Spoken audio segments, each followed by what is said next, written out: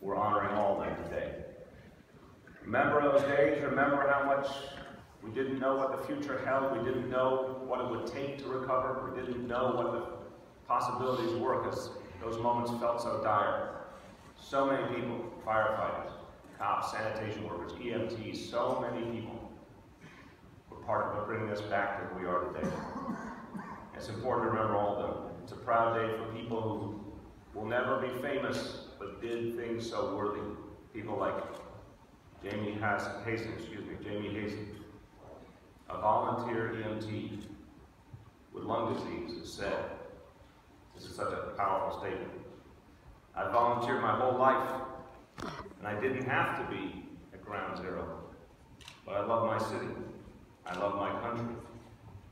But I never imagined it would kill me. That summarizes what so many have been through. It's a proud day for Jennifer McNamara and her son John. Jennifer's husband and Jack's father, excuse me, son Jack, my apologies, son Jack. Jennifer's husband and Jack's father, John McNamara, worked over 500 hours at Ground Zero. In 2006, when Jennifer was pregnant with Jack, he was diagnosed with colon cancer.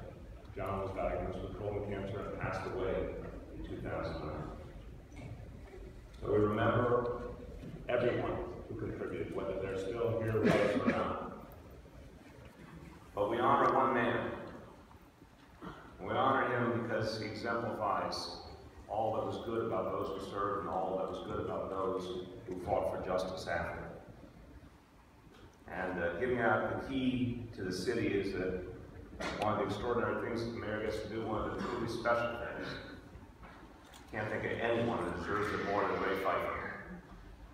Key to the city was made for people like Ray Pfeifer. Hmm. Let me take a little trip down memory lane John gave you a flavor of who this man is.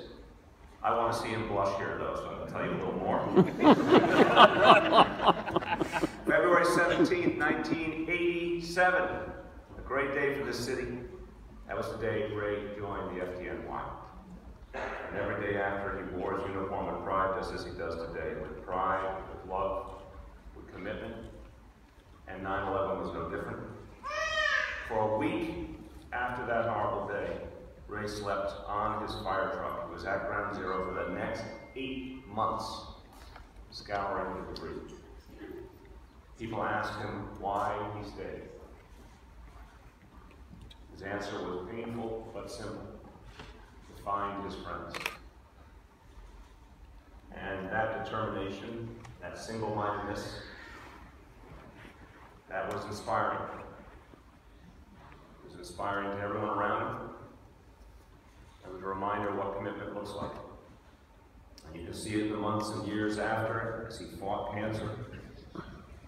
And you can see it in the halls of Washington. There is famous saying about Ray that he walked 140 miles through the halls of Congress. That's how relentless he was. It didn't matter if he was in pain.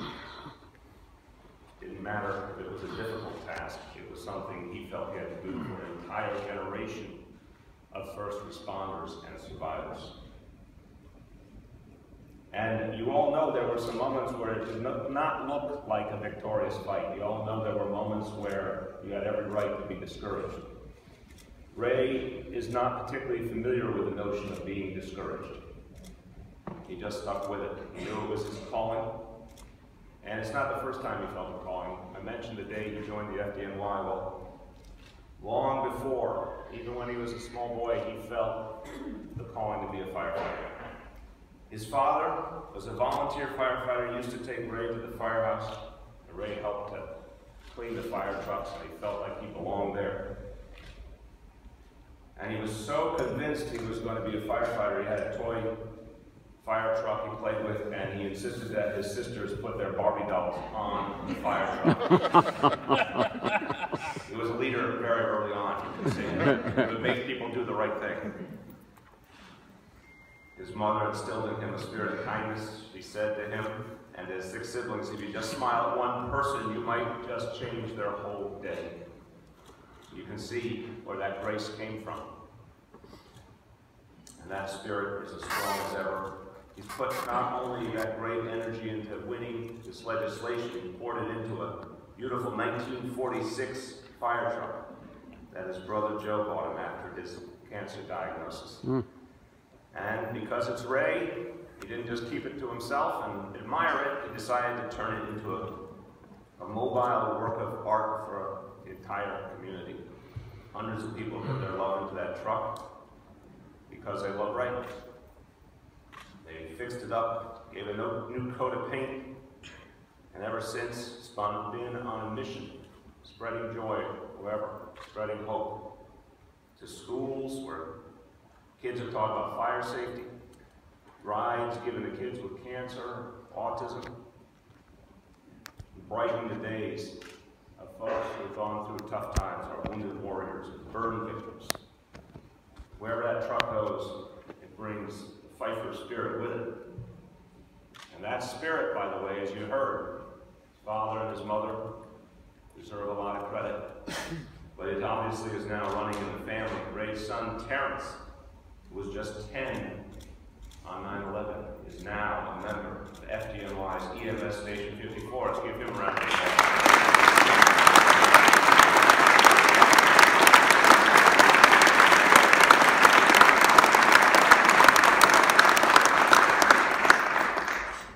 There's more. His daughter Taylor aspires to join the NYPD. And I know she's going to get there.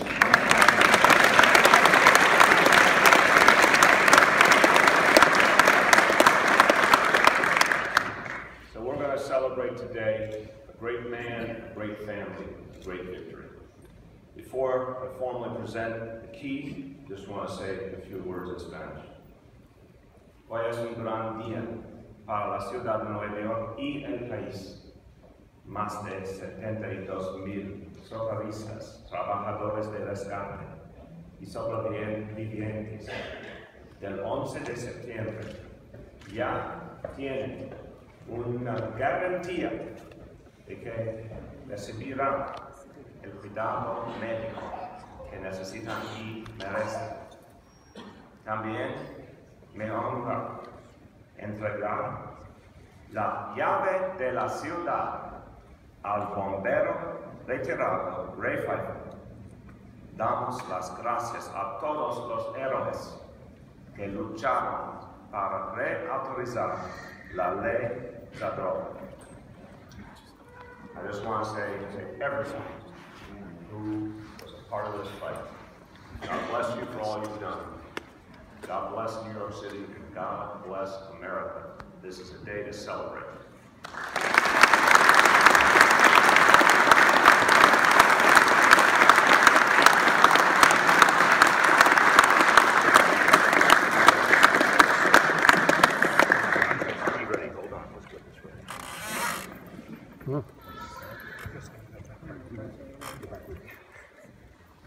John, what did you say? yeah,